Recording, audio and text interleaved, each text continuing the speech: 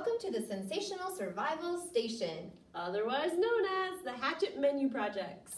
We hope your taste buds are hungry as you will have the opportunity to try many of our menu items.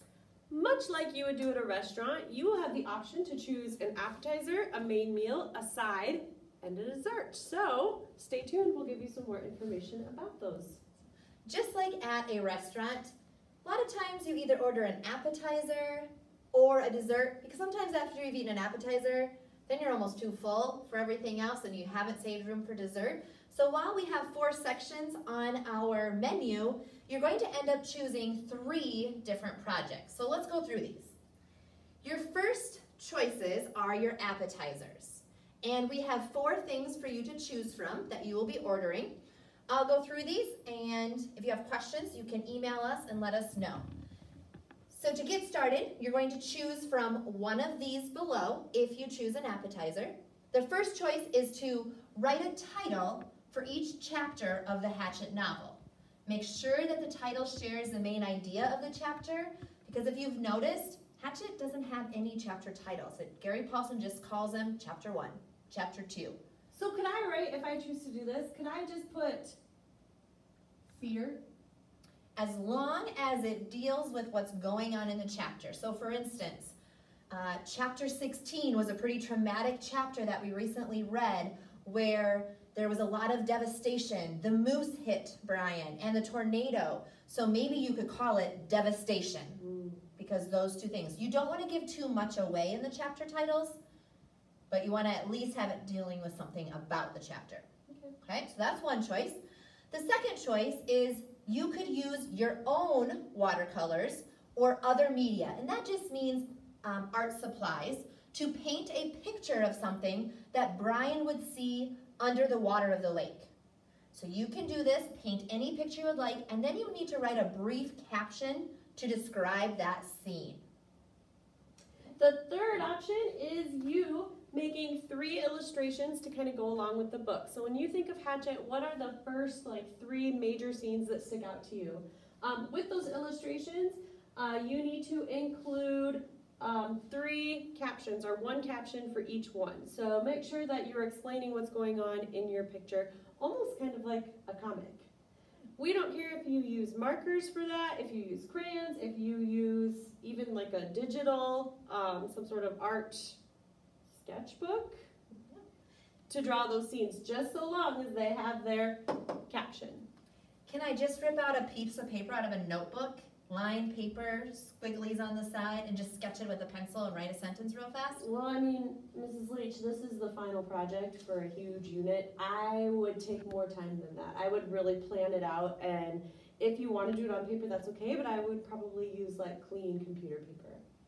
The fourth thing that you're going to do is imagine that you are talking to author Gary Paulsen. We want to know what questions are you going to ask him about the book. You need to come up with a list of five to ten questions that you want to ask um, Gary. With that list, we actually want you to comprise it into a letter. So, dear Gary Paulsen, I'm wondering these things about the novel Hatchet, yada yada, and sign it from you. And actually, last year we ended up mailing these to Gary Paulsen because he lives up in Minnesota. Yeah. Those are our appetizers. Ms. Leach, what if I prefer dessert though? Do I have to do any of these? If you would rather eat a dessert or do a dessert project, and we'll get through those in a minute, then no, you do not have to do any of those. All right, moving on then is our main meal. And just like at a restaurant, the main meal is like the bulk of something. So if you notice, these are worth 25 points. Our appetizers were worth 10 points. This is supposed to be twice or two and a half times as much work. Again, we have four different choices for you to choose from, and we'll go over those, you have to choose one of these items. Your first one is to write a short personal narrative in response to one of the following prompts. And this must be a minimum of three paragraphs. So like two sentences, two sentences, three sentences? Uh, paragraph needs five sentences. So five times three is 15. So a minimum of 15 sentences. Is there a max amount? Nope, you may write I wouldn't say as much as you want because we want it all to be finished within a timely matter. But if you need to write a full page or four or five paragraphs, that's okay as well. So do I just get to pick whatever I want to write about? Well, it is a personal narrative, and we're going to learn about this in a writing unit coming up, but personal is about you or about a person, and a narrative is a story. So we have um, a few different choices for you to um, choose from if you would like to write this personal narrative. You do not respond to all of these, you just choose one. So you could describe a time when you learned something about yourself. Maybe you learned how to ride a bike. Maybe you learned how to do multiplication. Okay, something time when you learned it. The second one is tell about a time when you were really scared. What happened and how did that experience change you? The third one is describe a time when you felt sorry for yourself. What happened? What did you learn? The next one is tell about a time when you learned something new. Were you successful at first? Did you have to try many times? And why is this something new important to you? Okay, next choice. Brian remembers a teacher giving him great advice. Describe a time when a teacher really made a difference in your life. Another one, write about a time that you made a big mistake. What did you learn from your mistake? Or the last choice, Brian really valued his hatchet. What is your most valuable possession and why is this possession valuable? So remember, if you choose a personal narrative, it's just over one of these. Not all of them, just one, and it's a minimum of three paragraphs, 15 sentences. And if you're thinking, oh my gosh, I don't like to write, writing's not my style, that's okay because for um, your main men, or sorry, main meal, you can always choose from our other three options. Our second option is to create a 3D representation, and that is otherwise known as like a diorama. So um, in that, you'll need to model places in the story of Hatchet. So do I want you to just take some grass and throw it in on the bottom and maybe scribble blue marker on the sides? No. We want you to um, consider items like his shelter, the ridge, the lake, the place where Brian found his gut cherries, um, where he saw the moose, etc. Um, and obviously, you don't have to use a shoebox. You could use various other materials. Um, we've had kids use uh, Legos. We've had kids um, just use like a, a, smaller cardboard box. I mean, really, the sky's the limit as long as you're showing us a 3D model of his story. We also want to point out that if you choose to do the 3D model, you do not have to tell mom or dad, hey, I need to get to Hobby Lobby or hey, I need to get to Walmart because all of the stuff that you can use in this is stuff that you could find at home. Um, like I said earlier, grass. Maybe you could use um, some rocks from outside or some twigs from a tree.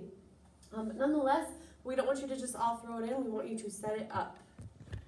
Um, and then also with that, just a written explanation of what is shown. So here is our, um, here's Brian's shelter, and it includes the rock-shaped, um, help me, the rock-shaped ledge, ledge, and then the brush that he used to create the twigs around it. So really, be creative with this. This is a fun one. And one thing I just want to reiterate here is um, if you choose this one, these are supplies you have. So yes, you do not have to tell mom and dad, go buy these, but this is something that you need to bring from home if you're going to do this here at school. Um, or if you're going to make it at home, that's totally fine. We are not going to provide all of this for you, and this is not something you can go running to all the teachers. Do you have hot glue? Do you have yarn? Do you have this? No, this is something we would ask that you. And if you don't, that's okay. Don't choose this one. There's some other options yet as well. Okay? The next choice is to create a children's book or a read aloud version of Hatchet. Include drawings and simple words to explain the story to a small child. So just like how, um, you know, Hatchet is a 19 chapter book, you could shorten it into just a few pages of the main parts and you could just put a couple sentences on each page. You could use Google Slides. Um, if you have a different app that you're familiar with, you could do that.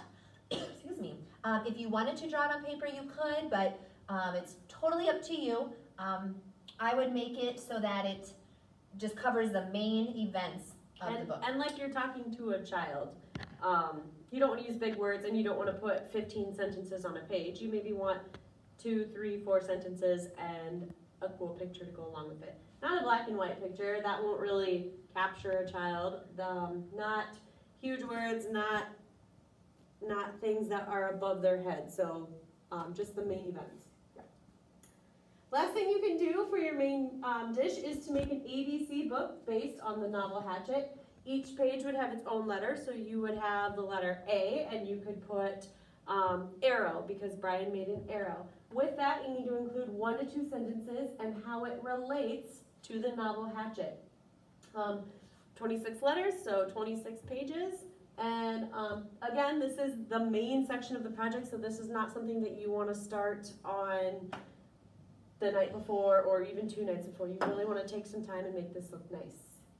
And again, this one you could use Google Slides as well, or Mhm. paper, or um, maybe even Google Docs if you wanted, and they all kind of went in order. But Google Slides would probably read more like a, a book, and each slide could be a different letter. Yep. Okay, so those are your four choices for main meal. You have to choose at least one of these, or you have to choose one of these.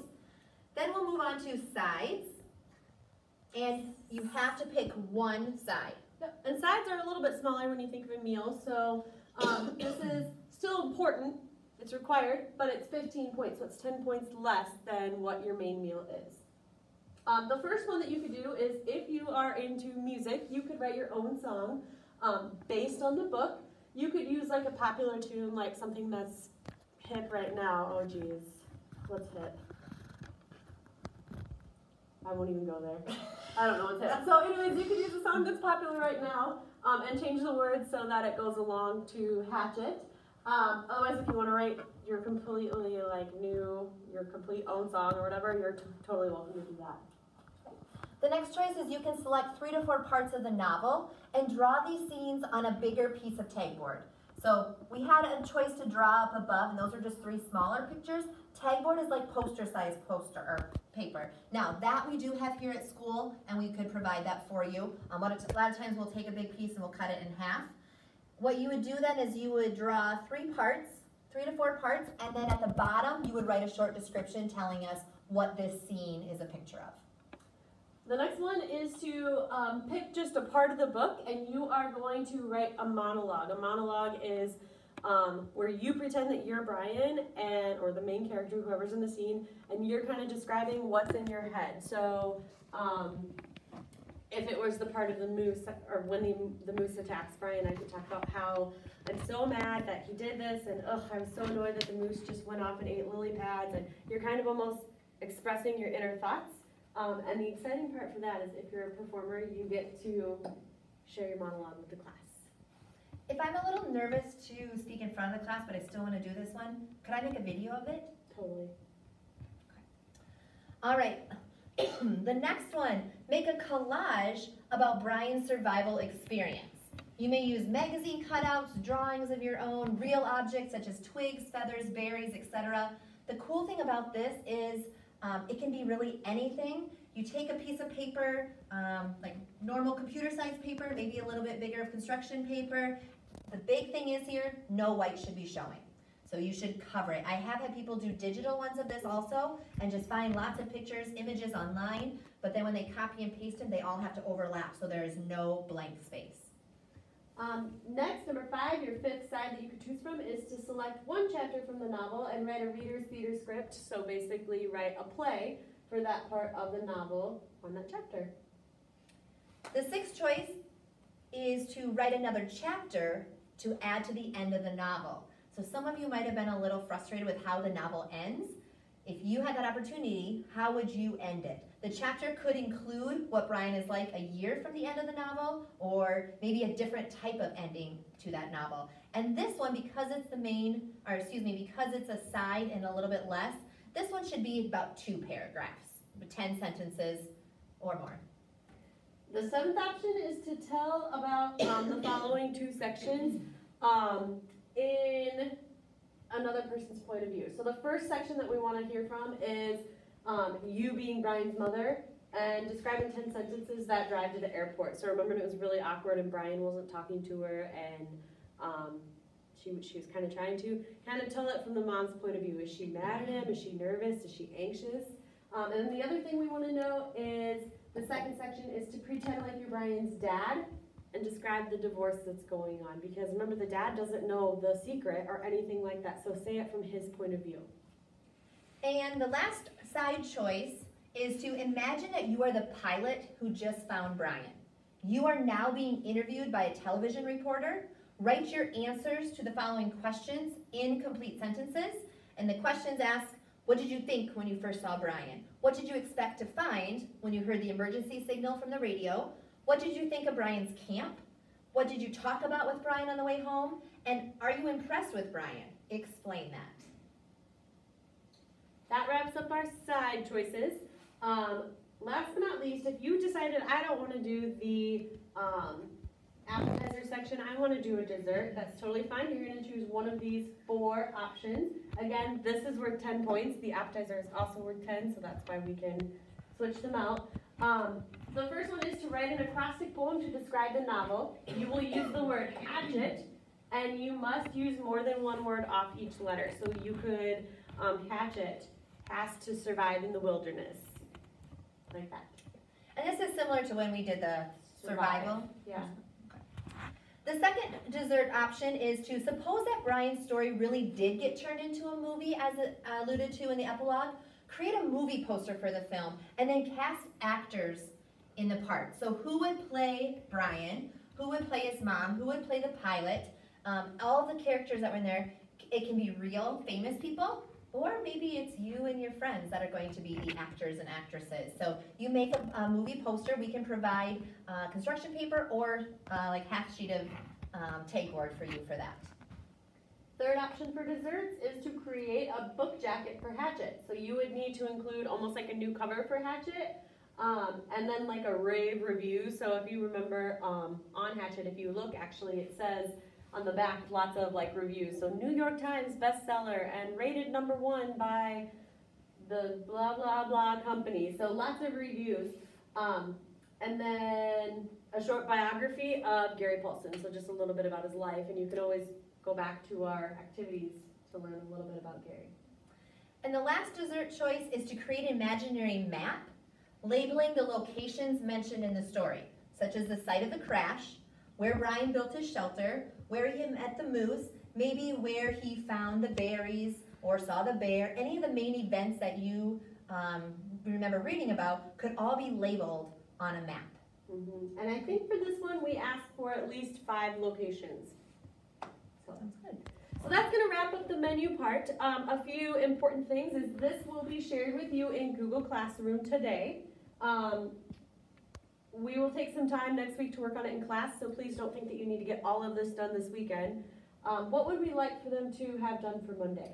I think they should have a plan in place because we, as your waitresses, will like take your order and we will ask you what is your appetizer or dessert choice, what is your main meal, what is your um, side choice, and we'll write down those three choices. All of this, if it is digital, can be turned in in Google Classroom all as one assignment so that we see it in one spot. Now, if you've chose something that you need to paint or build, that's fine, we will note that, but we will have an order form. And so by Monday, I would make sure that you know what your three choices are, and then we will give you, as Ms. McAllister said, we will give you class time to work on these. So if you choose something like painting or building, I would bring those supplies with you on Monday. Because so the worst, the worst thing that can happen is you get here Monday and we say, okay, it's your time to work and you sit there and you're bored because mm, I'm gonna make a 3D model but my shoebox is at home. So we want you to, to come prepared with a plan for how you're gonna spend each of your days working. And I believe we're going to give Monday, Tuesday, and Wednesday to work on projects. So if you think about it, each class is about 45 minutes. You'll have an hour and a half, three, an hour and a half every day for three days. So, gosh, I'm bad at math.